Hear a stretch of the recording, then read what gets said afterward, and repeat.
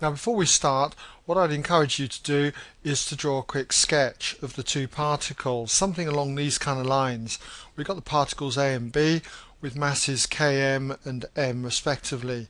We're told that the particles are heading towards one another and before they collide A is moving with a speed of 2u and B is moving with a speed of 4u. But after the collision a speed is halved, so it's now down to u, and its direction is reversed, so obviously it's now going to be heading towards the left.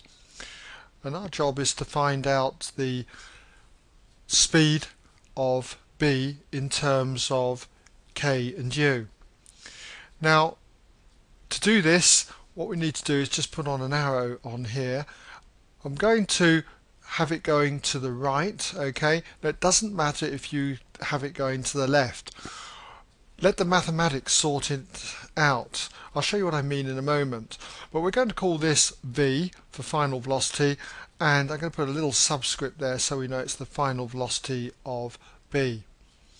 Now to do this problem we're going to use the conservation of momentum. So what I would do is just write a little subtitle here by the conservation of momentum. I'll just put cons of momentum. Okay, conservation of momentum. What is the conservation of momentum?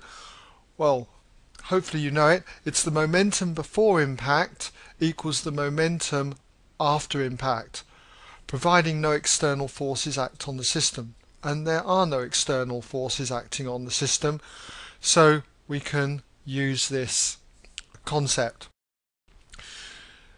Now, momentum is a vector quantity and so therefore we need a plus direction throughout the problem.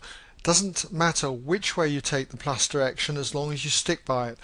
Now because I've selected the velocity of b to the right, I'm going to choose my arrow for positive direction to the right but it is totally up to you what you do. Now, I did say it didn't matter which way you put VB. What would happen if I did find that VB was going in the other direction towards the left, then VB, when I do the conservation of momentum, will come out as a negative value. So that's the way we will interpret it. Okay, well, let's start now the conservation of momentum.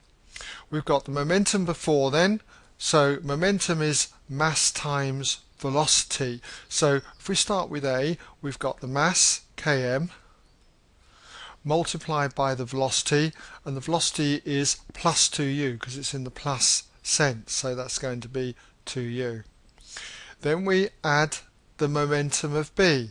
So momentum of B, mass again, times the velocity.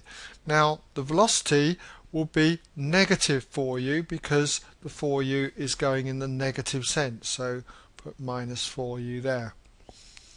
So this is the initial momentum before impact. Now it's got to equal the momentum after impact. So we start again with A. A has a mass of km. Put in its velocity now and we see that we've got u going in the negative sense. So it's going to be minus u. Then we add the momentum of b, so we've got the mass here which is m times the velocity and what we have is plus vb because vb is going in the plus sense so just put vb there.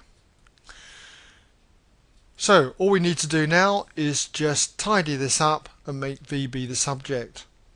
I can see that we've got an m in every term, so I could divide through each term by m, so they cancel out. And then I've got 2uk, so we'll just put that, or 2ku. And then I've got minus 4u, and that equals minus ku, and we've got plus vb. So all I need to do is add ku to both sides and so therefore I've got the final velocity of b equals 2ku plus another ku so that's 3ku and then minus the 4u. Alright so That is the speed after the collision. So we don't know the direction as such as yet.